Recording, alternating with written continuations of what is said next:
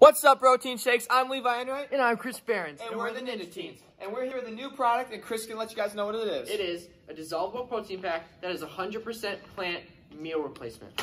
Boom, right there. We're going to give it a little rundown. We're going to give you guys nutritional facts really quick. Uh, as we said, is a plant-based uh, protein pack meal replacement. Uh, gluten-free, just like all the other products. No added sugars. Uh, it's only got 16 grams of protein, which is a little lower than the normal protein packs, but it's still pretty good.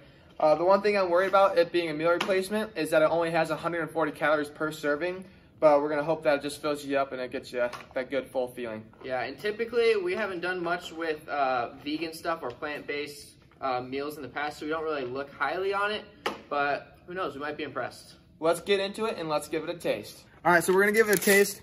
Uh, open it up. Uh, it's the same, same little pods as the protein and the uh, pre-workout.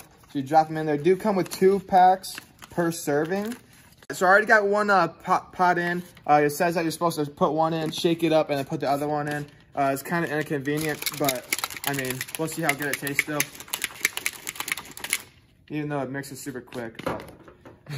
We'll put this other one in. It looks like it adds quite a bit of volume to it, which is nice. Put this other one in, shake it up. Uh, this one only comes in one flavor at the moment. It's chocolate right now, but I'm pretty sure they're coming out with a vanilla one soon if you guys are more into that stuff. And we're gonna give her a little shakeroo and give it a give it a taste. So it looks like it added quite a bit to it.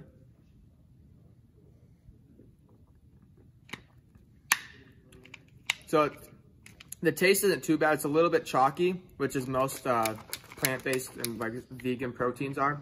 Uh, I'm gonna let it shake up a bit more and try it again. But the taste isn't that bad. Not a great, the greatest fan of it. I'd rather have like a regular protein shake, but it's okay if you're into plant-based stuff. Okay, um, I'm gonna taste mine now. I have a little bit more liquid in mine than Levi's, so it mm -hmm. might mm-hmm. not be as chalky, but smells good. Smells like chocolate. So.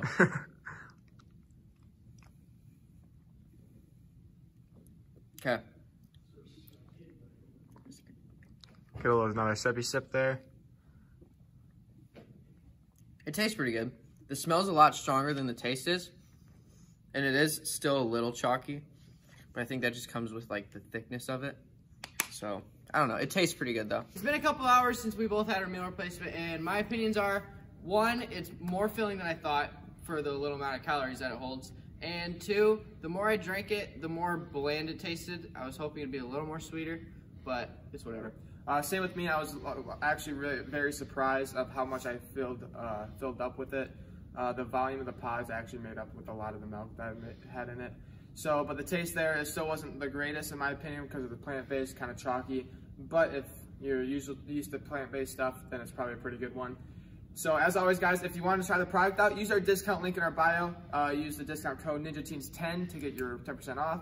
And thanks for watching, guys, and see you later. Noggin! Noggin!